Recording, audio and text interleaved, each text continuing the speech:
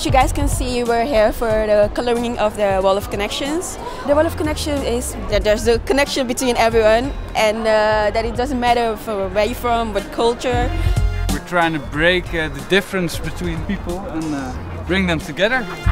We create concepts that uh, mobilizes people to use their talent for a better world. That, that's the cornerstone of its design. So we have like now the ambition to paint 100 walls globally. Dames en heren, een muur staat eigenlijk voor we willen niet met elkaar bemoeien.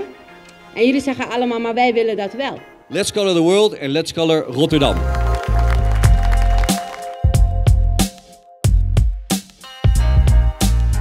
AkzoNobel really believes in uh, the corporate social responsibility that we have through paint and the power of paint by actually connecting the people in those cities and we call that human cities. So this is one of our human cities programs to really inspire the lives of people wherever they may live. It is our purpose as a company to make uh, people's lives more livable and inspiring. And paint and color can do that. At the moment we already reach 9 million people in the world. So what I hope is just that this takes off, that it becomes a movement and that other countries join in as well.